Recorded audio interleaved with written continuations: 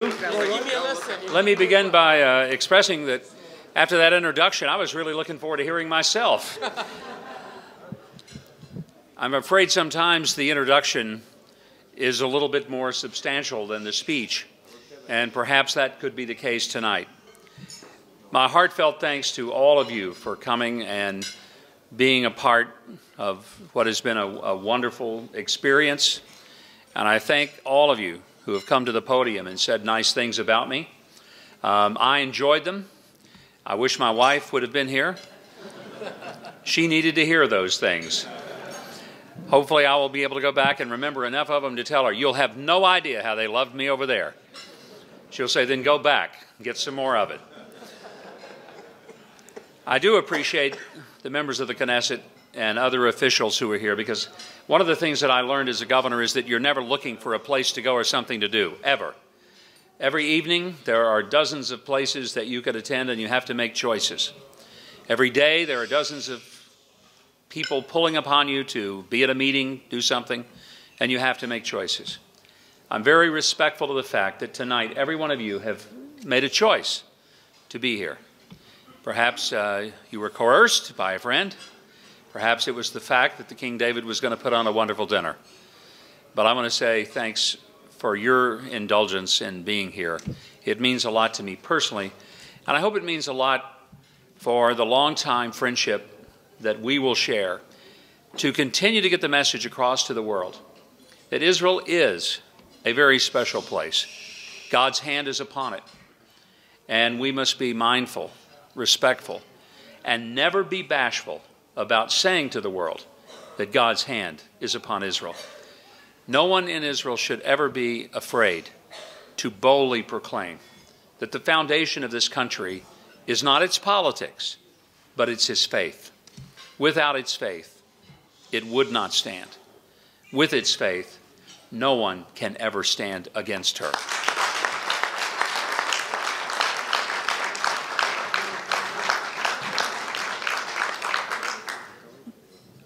I want to say a special word of thanks to all of the people of the hotel staff. You know, these are the folks who work incredibly hard. They're on their feet for hours. They work their way among the tables to deliver food to us. They provided a wonderful meal.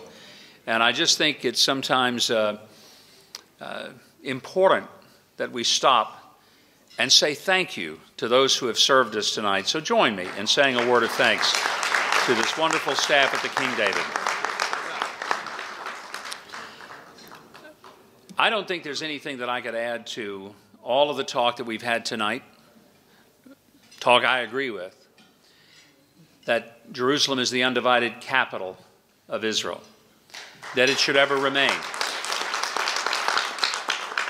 That the idea of a two state solution is a diplomatic fantasy. It is never going to happen. And we need to stop talking about it because all it's done is waste time and money of diplomats who have traveled all over the Middle East and beyond trying to pretend that they were doing something that they're not doing. And so, once and for all, maybe we can put that aside. And one of the things I'm looking very much forward to in really just about two weeks and a day is to be able to say former President Obama and former Secretary of State John Kerry.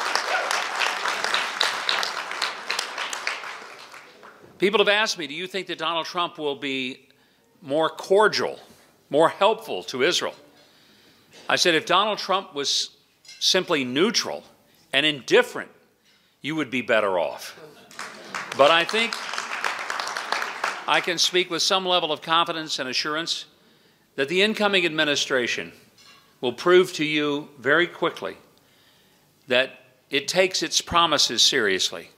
The promise to move the embassy, the promise to fight the very destructive BDS movement, which does as much harm to Arabs and Palestinians than it does to Jews, and that it will, in fact, uh, create a totally different and new policy that recognizes the indigenous right of Israel to occupy, to own, to live in, to possess.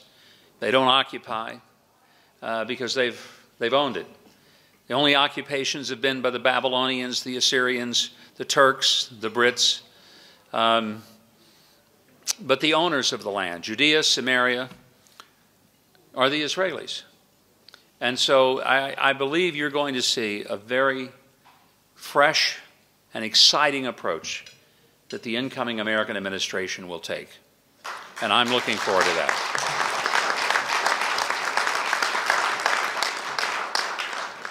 I want to tell you a simple story tonight, one that I hope will maybe explain why I, as an American, find it so important to stand with Israel. And I, I, could perhaps share many different personal experiences, but I hope this speaks not to your head, but to your heart. A number of years ago, a young father brought his children to Israel for the first time. He wanted them to see this country. He wanted them to understand something of what it was about and what made it unique. And of his three children, he had two teenage sons and an 11 year old daughter. He took his children to Yad Vashem because what better way is there to understand the importance of modern day Israel and the commitment of Israel to never, ever let something like the Holocaust happen again? this young father discussed with his wife whether or not the 11 year old would be mature enough to understand and, and to absorb the extraordinary and sometimes very emotional experience of Yad Vashem. And many of you may remember that a number of years ago, Yad Vashem was even more intense than it is now. It was arranged very much in a chronological order, and the, the pictures and the artifacts uh, were far more intense than they are now. And I know that many people said it's just too much. But in those days, it was strong. Personally, I think it needed to be strong. It needed to be intense. It needed to evoke an extraordinarily personal, deep, emotional reaction from everyone who went through it. But this young father, concerned that maybe the girl was too young to experience it, to process it, decided he would start the process of taking her through Yad Vashem. But if things became too emotional for her, then he would simply escort her out. So he took her through Yad Vashem, and as you remember in those days, it started out with the depiction of what happened as the Nazis came to power and how they first began to isolate, identify, and then truly harass Jewish people at every level, including making the children at a school wear a Star of David on their clothing, not as a point to identify them for honor, but to identify them at a point of derision and ridicule and hostility and bullying.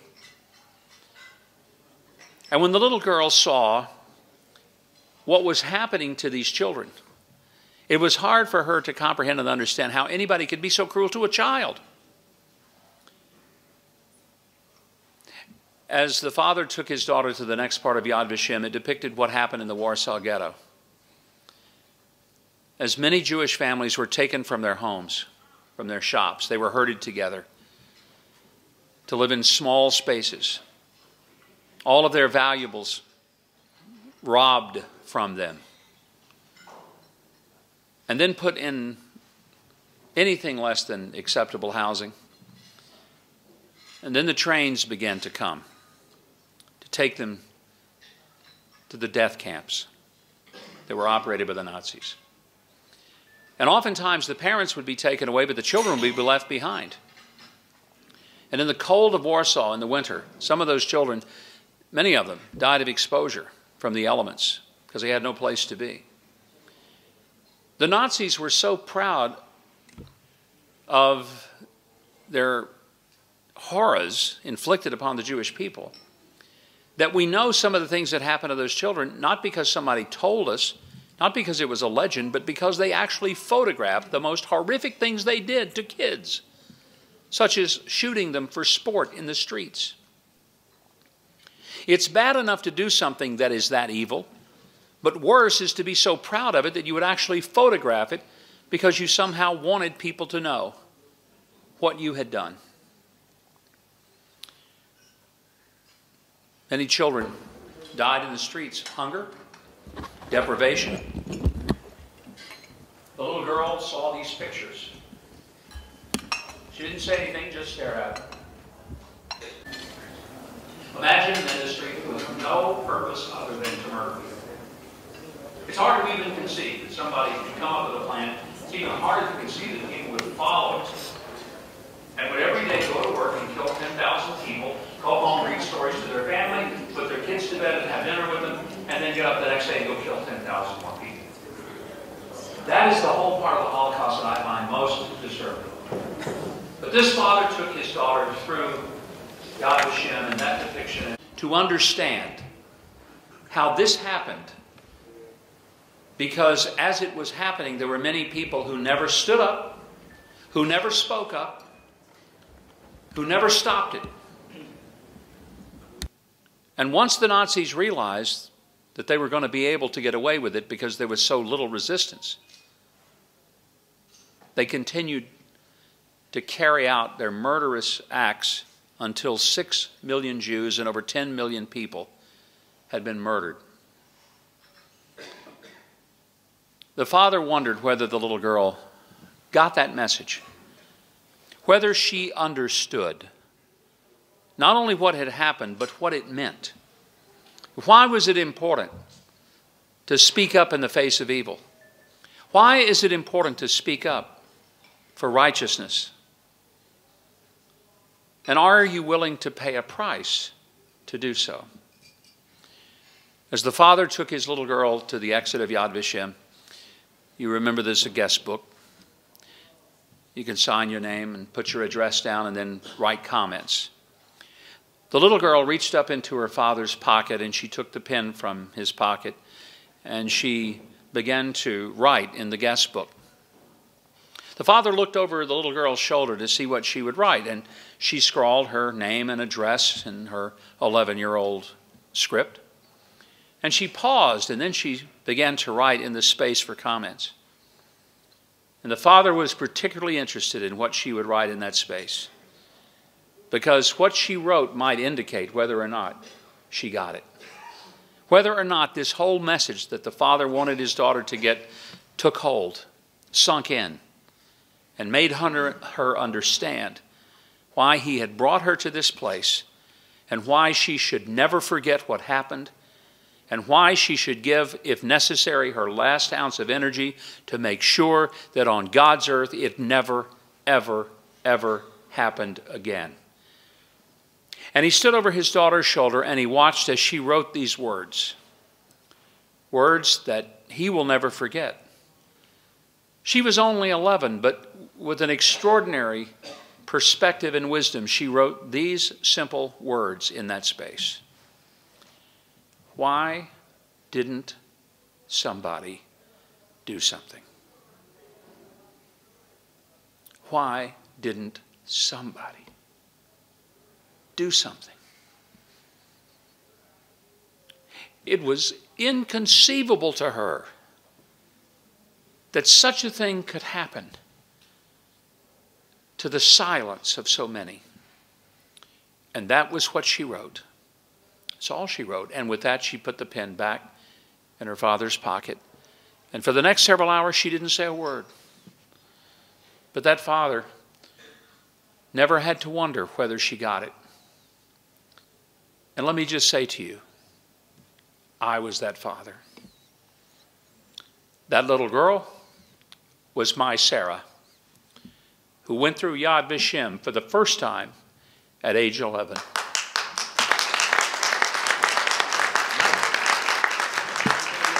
I have brought her back here, and one day I will bring what will soon be all six of my grandchildren to Israel and take them through Yad Vashem as a reminder that somebody always has to do something. I say to you tonight, my daughter is getting ready to take a job in the White House under Donald Trump and will be working in his administration as they take office. You may have seen her on television. She was often uh, a spokesperson for the campaign, and uh, Trump loves her. He likes me, but he loves my daughter. and she's been an amazing political operative an incredible person of deep conviction. And you know what? Since that day, I've never had to wonder whether my daughter not only would have deep convictions, but would stand for them and with them unflinchingly. And I want every person to understand that the partnership that America and Israel has is deeper than political, it is deeper than financial. It comes to the very heart and soul, what it means to be a human being. And to understand that whether a person is a Jew or a Muslim or a Christian or a Hindu, that there must be a respect and an understanding that there is no such thing as a life without value. There is no such thing as a life that does not deserve the respect to be treated as a human being. And it's why that the value system that we hold, your country and mine, that values law and justice and that elevates and holds accountable all of us equally under the law, and that believes that even when we are at war, we must do so in a way that is honorable and defensible. It's what separates us from savagery. And it's also what brings us together in a partnership that we need to preserve, protect, and pass on to our kids and to our grandkids. And I pledge to you that my commitment to you in Israel is one that is born from a deep sense of understanding that mutual bond of friendship and values. And I will continue to fight for that. Thank you and God bless.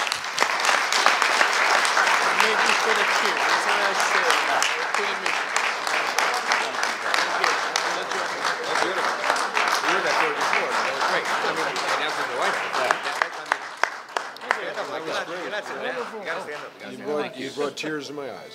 And they're still